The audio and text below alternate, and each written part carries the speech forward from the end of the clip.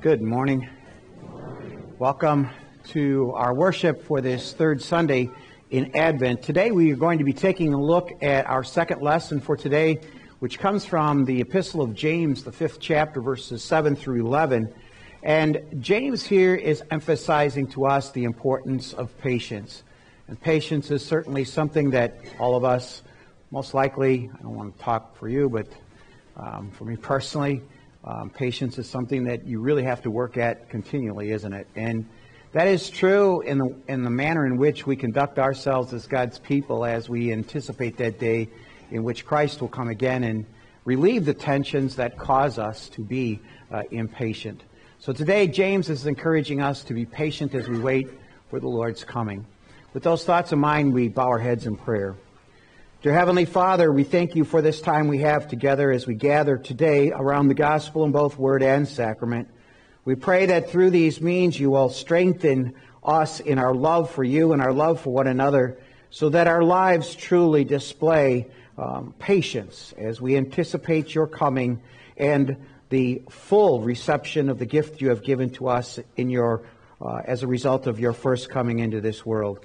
Bless our worship with your Spirit as we ask these things in our Savior's name. Amen. We open our worship today with hymn number 324. We will sing, sing stanzas 1 through 4.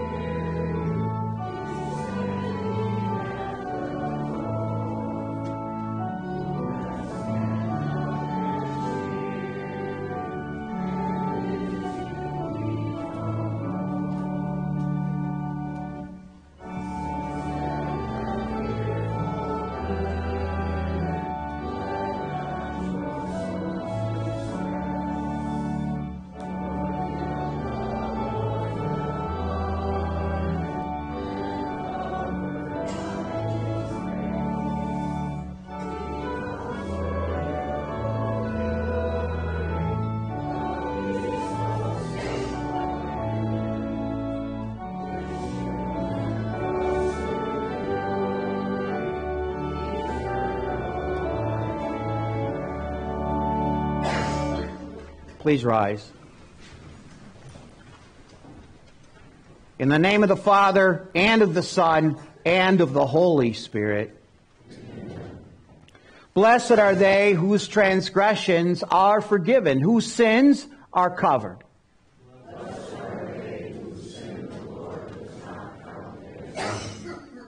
Let us confess our sins to the Lord.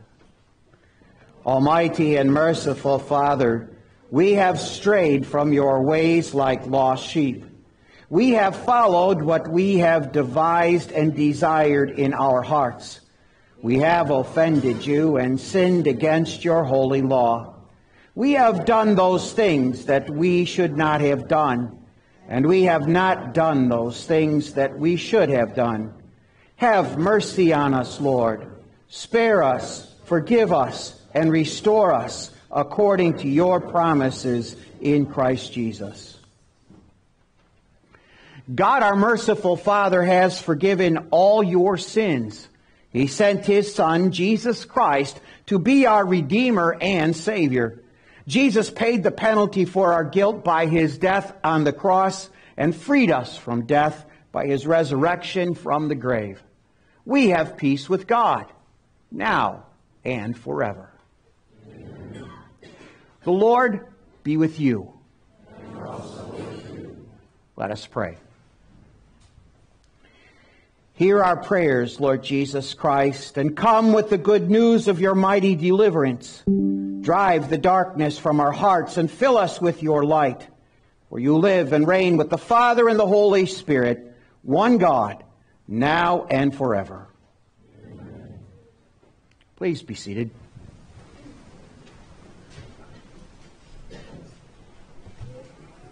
Our readings for today are the readings for the third Sunday in Advent.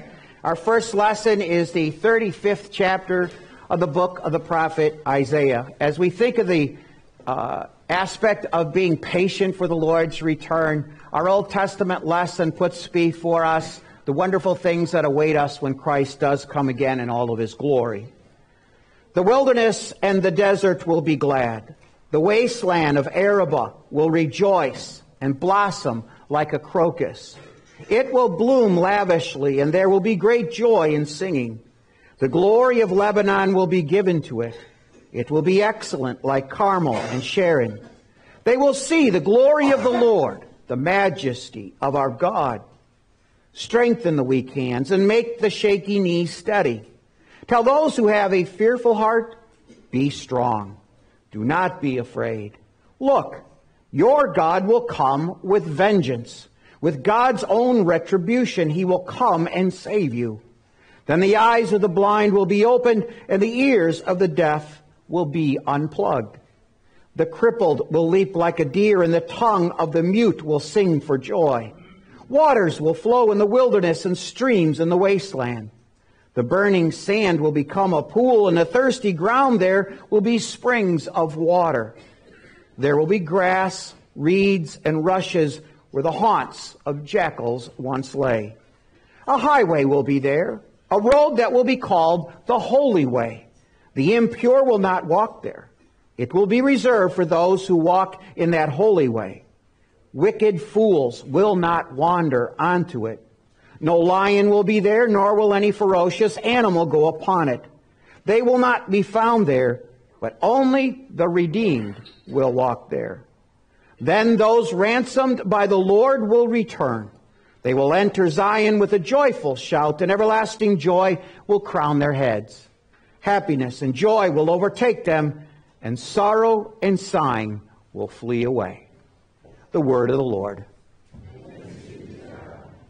Today's psalm is one, Psalm 146a. This morning we join in reading it responsibly. I will praise the Lord all my life.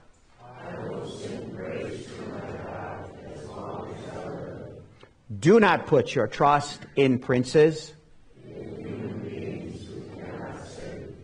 Blessed are those whose help is the God of Jacob. He upholds the cause of the oppressed. The Lord sets prisoners free.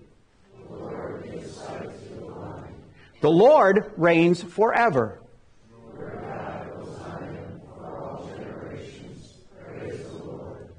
Glory be to the Father, and to the Son, and to the Holy Spirit, as it was in the beginning, is now, and will be forever. Amen. We now turn our attention to the words which will be the basis of our meditation for today, taken from James chapter 5, beginning with verse 7. Therefore, brothers, be patient until the coming of the Lord. See how the farmer waits for the valuable harvest from the ground, patiently waiting for it until he receives the early and late rain. You be patient too. Strengthen your hearts because the coming of the Lord is near. Do not complain about one another, brothers, so that you will not be judged. Look, the judge is standing at the doors.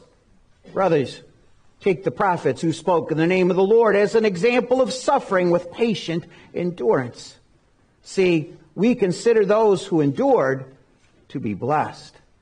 You have heard of the patient endurance of Job and have seen what the Lord did in the end, because the Lord is especially compassionate and merciful. The word of the Lord.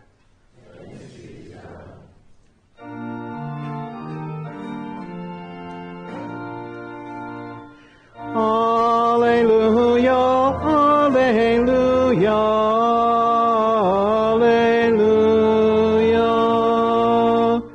I will send my messenger ahead of you,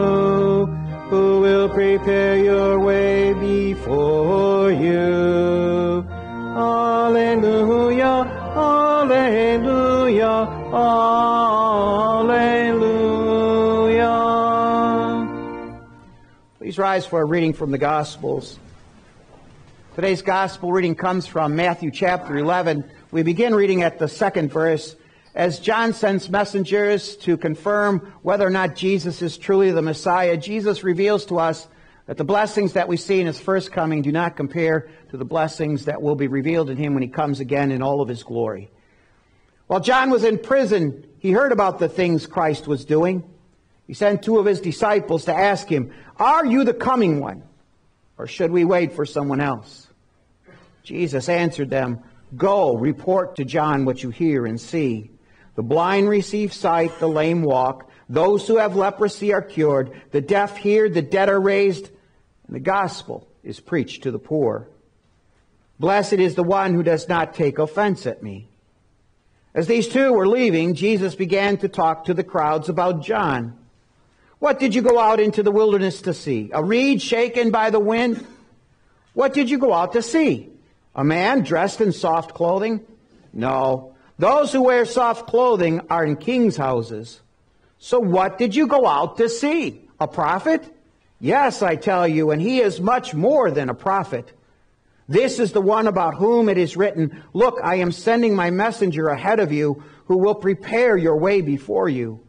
Amen, I tell you, among those born of women, there has not appeared anyone greater than John the Baptist. Yet whoever is least in the kingdom of heaven is greater than he. The gospel of the Lord. You may be seated. We continue now our service with hymn 315.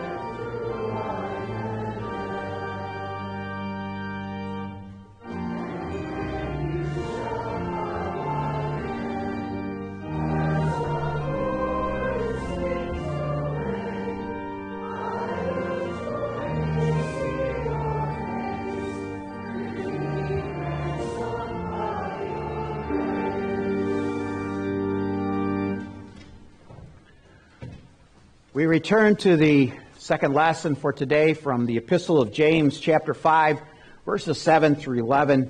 I will just read the first couple verses once again. Therefore, brothers, be patient until the coming of the Lord. See how the farmer waits for the valuable harvest from the ground, patiently waiting for it until he receives the early and late rain. You be patient too. Strengthen your hearts because the coming of the Lord is near. We bow our heads in prayer. Dear Heavenly Father, today as we have this opportunity to learn from the Holy Spirit through the through James the importance of being patient in our waiting for your Son's return. We pray for your Spirit that this patience might become more a part of our lives and be demonstrated in all we do. Let our study today glorify you as we ask these things in our Savior's name. Amen.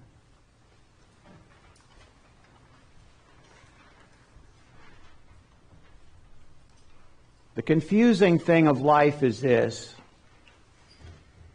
the wicked seem to prosper, while God's people seem to suffer. And it seems as if the wicked suffer no consequences for the wrongs that they do. Listen to how the psalmist describes it in Psalm 73. He said, For there are no struggles at their death. Their bodies are sturdy. They do not have the trouble common to people. They are not plagued along with the rest of mankind.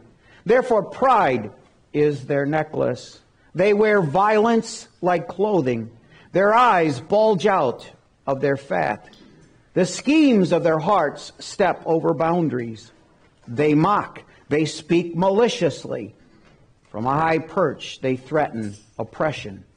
They set their mouths against the heavens. Their tongues strut around on earth. Therefore, God's people turn to them and they drink it all in. They say, How can God know? Does the Most High have knowledge? See, this is what the wicked are like. Secure forever, they increase in strength. The wicked prosper, and the godly suffer. God's people have struggled with this reality as far as this existence is concerned for centuries.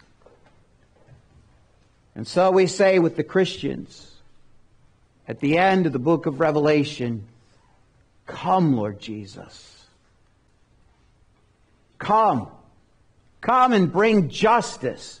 Come and take me to my real home. Come and let me have that full redemption that you prepared for me in your first coming into this world, secured to me in your resurrection and your ascension into heaven. It's easy for us to become like small children at this time of the uh, calendar year two weeks away from Christmas. Young children see the decorations coming out. They see the presents begin to pile up under the Christmas tree. They know that some of those gifts are for them. And so from time to time, they may ask grandparents or parents, how many more days? How many more days until we can open our gifts? When are we going to do it? They're impatient. And so too we become impatient because we want to open our gift, the gift that has our personal name on it, that full redemption that Christ will give to us when he comes again in all of its glory. That gift that is wrapped up in the work that Christ did for us while he was here. We are burdened by the wicked world around us and the personal struggles that we face in our day to day lives. We become impatient. Our brother in the faith, James, urges us not to become impatient. What he urges us to do is to remain steady and steadfast as we patiently wait for Jesus to keep his promise to come again in all of his glory. This morning we want to consider these words of encouragement from James as we live in times that can easily bring us down and cause us enormous anxiety, let us be encouraged by the Holy Spirit through James to wait patiently for the coming of Jesus. When it comes to oppression, it's been around since the fall into sin. In the words just before our text, James is rebuking those who are very wealthy. He says, You know how you became wealthy? You've taken advantage of those who have less. You haven't paid your laborers what they are worth. You have been oppressive. And he calls upon them to repent of their wickedness and sin. In light of those who take advantage of others, now James turns his attention to those who are being taken advantage of. He says, Therefore, brothers, in other words, therefore, in light of what he has said to the rich, he says, Brothers, be patient until the coming of the Lord. See how the farmer waits for the valuable harvest from the ground, patiently waiting for it until it receives the early and late rain. Be patient. In order to illustrate that, he uses the example of the farmer.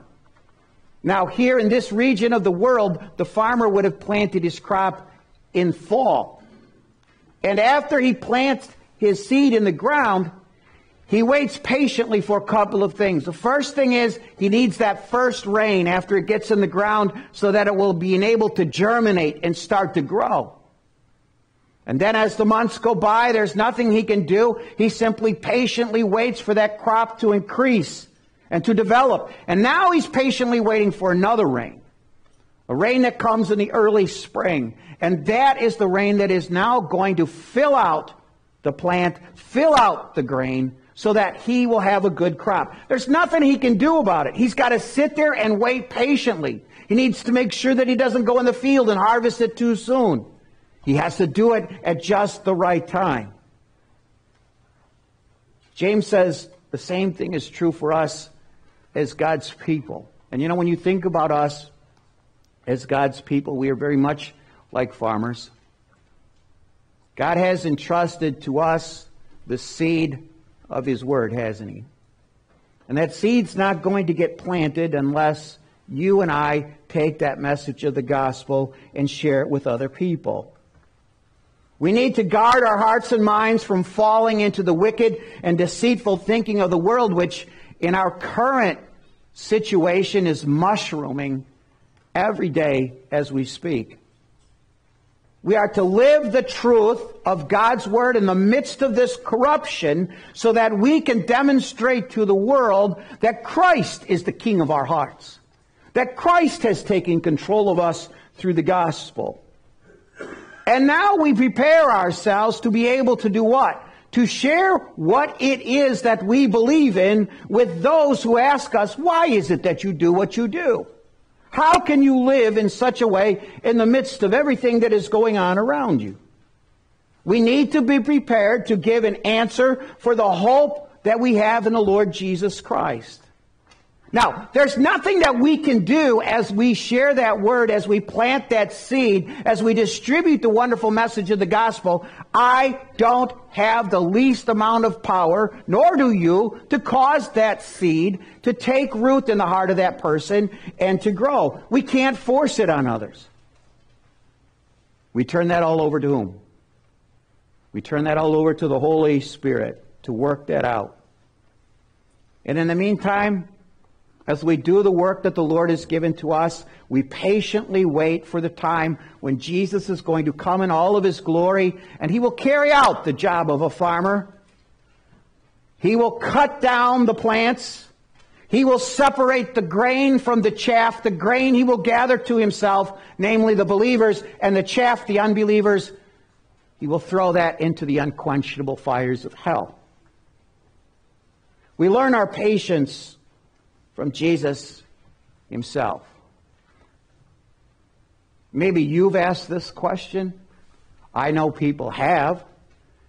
And that is this Why hasn't Jesus come yet? Doesn't he have enough people for his kingdom? Doesn't he see how bad and wicked things are? How there is such a threat out there to us, his people? Well, Paul told Timothy, he said, This is good and, and pleasing in the sight of God our Savior, who wants all people to be saved and to come to the knowledge of the truth. An important characteristic of our God that many people overlook in our day and age is the fact that God is holy and just. And because He is a holy and just God, those who have rejected the forgiveness He offers in Christ, who still stand before Him condemned because of their sins, He must tell them, Depart from me into the unquenchable fires of hell. But He doesn't take pleasure in it. His will is what? His will is that people hear the gospel, repent, and believe in His Son, whom He sent into this world to rescue us. You see, this Christmas, when we look into the manger and we see that little baby there, you know what you see there? You see the heart of your gracious God. You see the fact that God did not withhold his son from you, as Paul says in Romans 8, but was willing to give him up for us all so that we might have eternal life. There's the heart of our gracious God. Each day that this world continues to exist, God demonstrates such a love for fallen mankind. Each day is living proof of his remarkable love. Peter wrote, the Lord is not slow to do what he promised. In other words, he's talking about Jesus coming again in all of his glory. As some consider slowness, instead he is patient for your sakes, not wanting anyone to perish, but all to come to repentance. Every day is an example, an illustration, evidence of God's love and patience for the sinner. Every day is an opportunity for us as Christians to explain to the world the true message that Christmas brings. Every day, God is extending His hand to those who are impenitent to come to Him. Come to Him as they are weary in their sins to find the only true rest which is found in the work of Jesus. Every day, as the Lord waits patiently on this sinful world, he gives to us the perfect example to follow. And so James says to us, You be patient too. Strengthen your hearts, because the coming of the Lord is near. You know, to be patient in the midst of this wicked and evil world can only be obtained by strengthening our hearts in the love of Christ. The idea here behind the word to strengthen means to set something up in such a way that it's immovable. It's planted. No matter what you do to it, you cannot topple, you cannot move it from one place to the next. Thus, a way to translate this would be to say firmly established. The term was used of Jesus.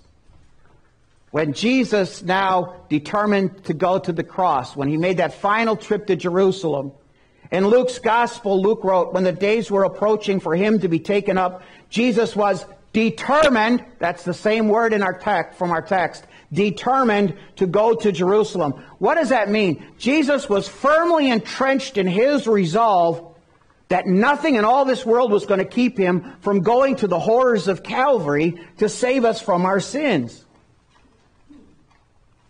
And what was the root of Jesus' resolve? Was it not love? Was it not love, first of all, for the Father? Was it not also love for you and for me? The blessed thing is, is that you and I now possess that love. John, in his first epistle, said, We love because he first loved us. We were not born with that kind of love. We were born with a very selfish love, a love that only thought about ourselves, a love that took advantage of others, a love that was not willing to do for others unless we got something out of it. This love now is a part of our lives, agape love, a love that does because it is more concerned about others than it is about itself. God's love has replaced that selfish love that we were born with. And this love produces in us what? The perseverance to, the patience to persevere in the midst of unfairness, in the midst of all the wickedness and the evilness that we see in the world. Paul wrote about this love, you know, in the great love chapter, 1 Corinthians 13. Look at how he defines it. And look at what the first word is he uses to describe this love. He says, Love is what? Patient. Love is kind. Love does not envy. It does not brag. It is not arrogant. Love is first and foremost patient. In other words, we are slow to become angry.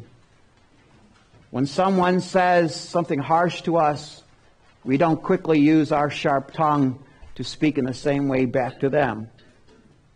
We wait patiently and know that vengeance, justice will come when Christ comes again in all of his glory. And it is on that day that those who persist in their rejection of Christ will receive what they deserve. It's not just the attacks of the world, though, is it? Against our Christian faith, against our Christian principles that wear us down and cause us to become impatient. It's also just the struggles of living in this sinful world that can cause us to become very irritable and impatient. James goes on to say, Do not complain about one another, brothers, so that you will not be judged. Look, the judge is standing at the doors. Brothers, take the prophets who spoke in the name of the Lord as an example of suffering with patient endurance.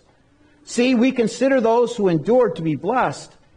You have heard the patient endurance of Job and have seen what the Lord did in the end, because the Lord is especially compassionate and merciful. Have you ever noticed when you're weighed down with the struggles of this life that it's easy for you to take it out on the people around you? James warns us not to let that happen in our lives, especially when we talk about the body of Christ. The word here, complain, has as its root meaning to groan.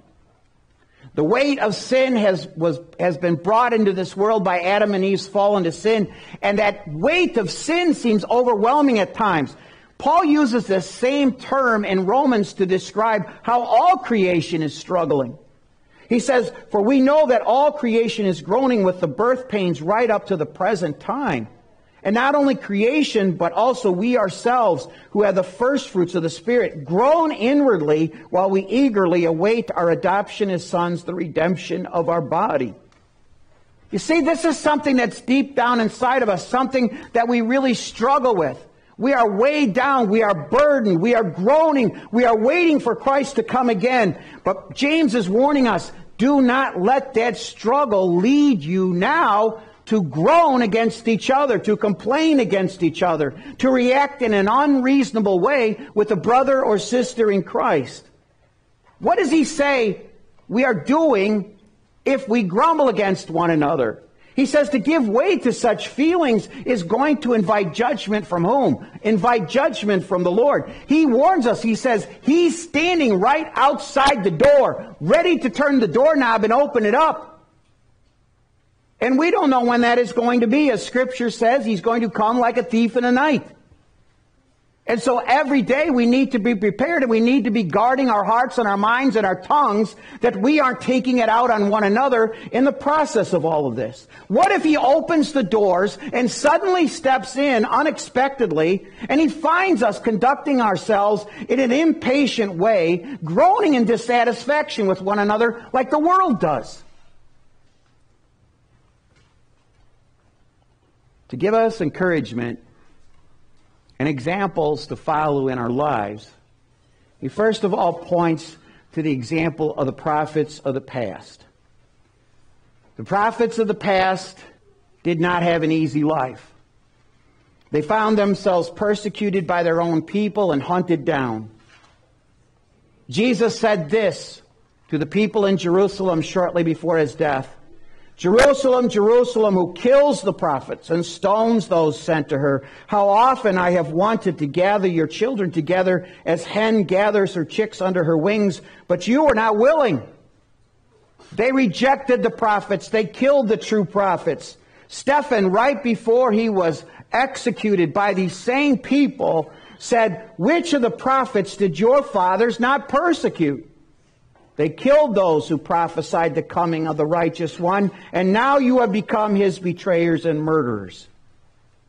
The word prophet means mouthpiece. They were handpicked, anointed by God to do what?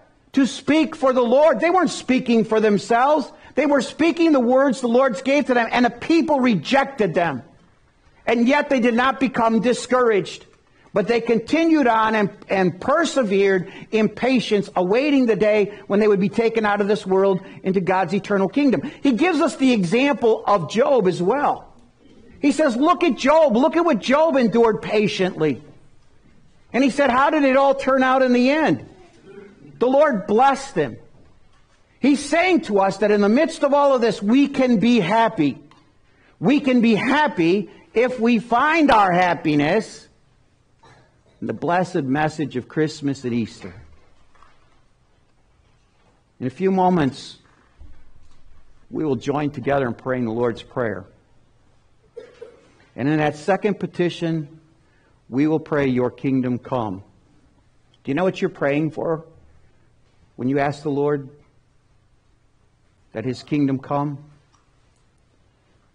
As Luther points out, the kingdom of God's already in our hearts if we're believers. Christ has taken control of our lives. He has come into our hearts by the power of the Holy Spirit through the gospel message.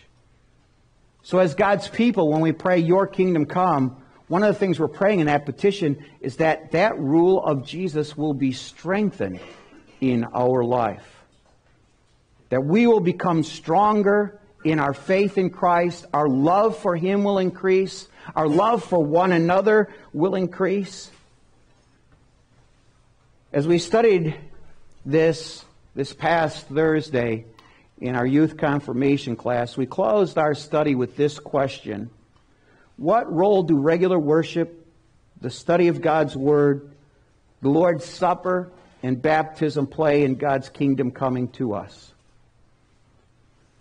Our regular worship our participation in Bible study here in our congregation, our regular partaking of the Lord's Supper, and our daily remembrance of the blessings and the meaning of baptism are God's, the Holy Spirit's tools to more firmly establish us in Christ and empower us and enable us to endure patiently through the struggles of this life as we anticipation opening the greatest gift we will ever receive when we are taken out of this world. Life isn't fair. And we need to get used to that, and we need to accept it. But there will come a time when things will be set straight, and that will be when Jesus comes in all of his glory. A day not known to us, a day that will be the perfect day, just as the first coming of Christ took place on the perfect day in the history of the world as well. But let us live each day in anticipation that His coming is truly near. Let us help one another in our walk here in this world of struggles to wait patiently for the coming of the Lord Jesus. So that we do not grumble against each other, but work collectively together under the power of the Holy Spirit to share the message of the gospel with others so that as you pray that petition, you will also be praying that that kingdom will enter into the hearts of others so that they will be able to stand in the judgment with us and enjoy God's wonderful kingdom for all eternity. Amen. Please rise.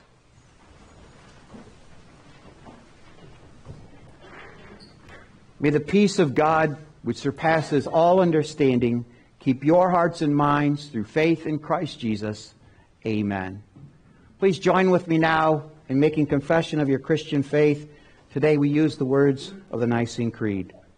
We believe in one God, the Father, the Almighty, maker of heaven and earth, of all that is seen and unseen. We believe in one Lord Jesus Christ, the only Son of God, eternally begotten of the Father, God from God, light from light, true God from true God, begotten, not made of one being with the Father. Through him all things were made. For us and for our salvation, he came down from heaven, was incarnate of the Holy Spirit and the Virgin Mary, and became truly human. For our sake he was crucified under Pontius Pilate. He suffered death and was buried. On the third day, he rose again in accordance with the Scriptures. He ascended into heaven and is seated at the right hand of the Father. He will come again in glory to judge the living and the dead, and his kingdom will have no end. We believe in the Holy Spirit, the Lord, the giver of life, who proceeds from the Father and the Son, who in unity with the Father and the Son is worshiped and glorified who has spoken through the prophets. We believe in one holy Christian and apostolic church. We acknowledge one baptism for the forgiveness of sins. We look for the resurrection of the dead and a life of the world to come. Amen. Please remain standing.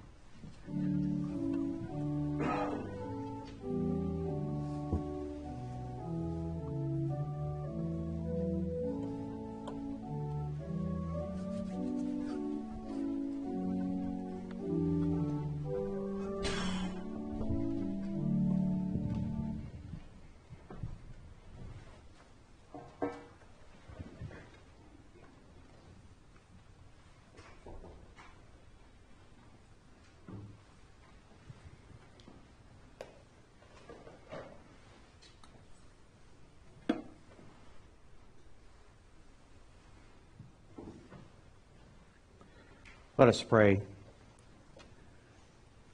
Dear Heavenly Father, as we draw near to once again having the privilege to celebrate the sending of your Son into this world the first time, help us to see how it required great patience on the part of your people of the Old Testament.